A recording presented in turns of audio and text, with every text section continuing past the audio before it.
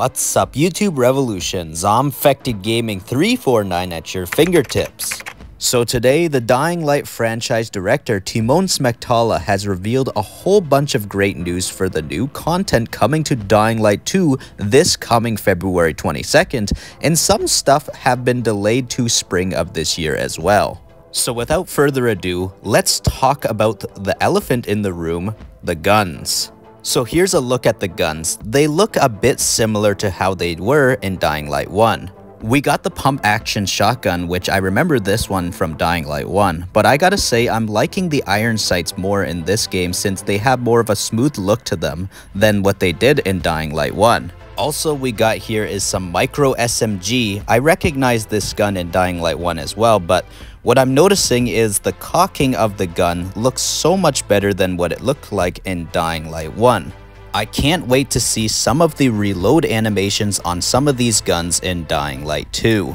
Now here we got is the assault rifle. This looks a lot like the military rifle from Dying Light 1, but I gotta say again, the cocking of the gun looks so much better than cocking the gun in Dying Light 1, and like I said, I just can't wait to see some of these reload animations. I really wonder if the reload animations will be more unique in Dying Light 2, like for example, if you don't dispense the entire magazine, are you gonna pull out the mag and put in a new one without cocking the weapon? Since realistically, when you dispense an entire magazine, you have to cock the gun right after. Whereas when it's not an entire clip of ammo dispensed, it's just pull out the mag, put in the new one without cocking the gun after. But yeah, that's pretty much my speculation and what we know so far about the guns in Dying Light 2. Now let's hear a surprise from Timon Smektala. We have invested hard work into the evolution of this game, which is why we can confidently say that the new edition of Dying Light 2 Stay Human is definitely a must play in its genre. Did I mention a new edition? Yes, we'd like to introduce Dying Light 2 Stay Human Reloaded Edition, the richest and most compelling version of Dying Light 2 Stay Human to date. It gathers together all of the additions made to the game thus far, including Bloody Ties DLC, plus new content and the new biggest update yet introducing firearms. If you haven't played the game yet, it's the perfect time to try it out. And if you picked it up a long time ago, then give it another go and check out all the improvements. So if you remember from years ago in 2016 when Techland released Dying Light the Following alongside its Dying Light the Following Enhanced Edition, it seems like Techland is now doing the exact same thing once again with a new addition to Dying Light 2 called Dying Light 2 Reloaded Edition. Alright, let's take a little step back and let Timon explain something about the guns. Firearms have made it into the game you can be sure that we invested considerable effort to integrate them into the game as organically as possible. It was quite a challenge for us, especially in terms of world building, because, as you know, Dying Light 2 Stay Human was originally crafted to be a universe without firearms. That being said, in response to your numerous requests stressing how important this is to you, what else could we say than, well, challenge accepted. I hope you will enjoy what we have created. Typically, when designing game features, we prioritize gameplay. But this time, it was the narrative that guided us and gave us direction.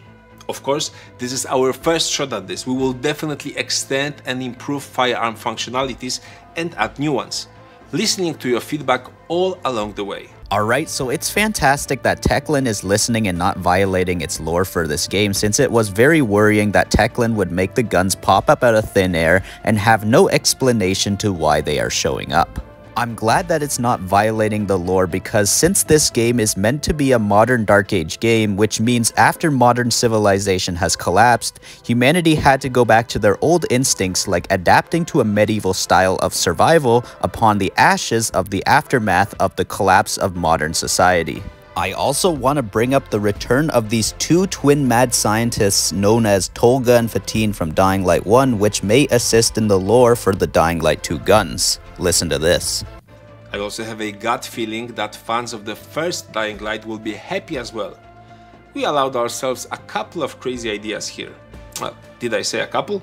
I might be selling it short. So I think this definitely probably confirms that Tolga and Fatin are coming to Dying Light 2 this coming Thursday on February 22nd. I'm guessing these two are probably planning some sort of tech-savvy project that involves maybe finding the guns or some sort of high-tech experiment and are most likely saying to Aiden, you remind us of Kyle, a monkey we knew years ago. I'm predicting Tolga will say to Aiden, Aiden, do you know what a gun is? And Fatin will say, no, Tolga. His ape brain probably has never seen or heard about guns in this world he grew up in. But yeah, that's pretty much my predictions on what Tolga and Fatin will probably will be doing this coming probably Thursday in Dying Light 2. You can also expect several smaller and larger features. Some relate to the visual layer, like the new vegetation, skyboxes and improved faces of our zombies, all to create a more mature and expressive gaming experience. This is also very fantastic as well for Dying Light 2 because it looks like they are improving like, you know, nice little things in the world like vegetation, stuff like that. Most likely maybe the sunsets in Dying Light 2 because Dying Light 1's sunset looks way better and I definitely got to say I'm very happy that Techland also made the rain look a lot better in Dying Light 2 as well. Even as Reloaded Edition delivers the biggest update yet for new and existing Dying Light players, not everything we originally planned could make it we have decided to give more time to two features, tower raids and nightmare mode. They just need that extra push to get them where we want them to be, but they are at the top of our development list right now. That's completely fine that uh, Tower Raid is getting delayed once again because this is probably a very ambitious game mode that's getting added to the game that's going to uh, probably bring a lot of uh, replayability to the game and to ensure that it makes sure that it's the best experience when it releases, Techland of course has to make sure that there's barely any glitches into this. My guess is there probably will be glitches when it releases, probably maybe little minor glitches, which is fine, as long as they're not game breaking. But of course, Nightmare difficulty is getting delayed as well, but um, I wonder why Nightmare difficulty is getting delayed. I'm not complaining, but uh, my guess is maybe new gameplay elements to the game.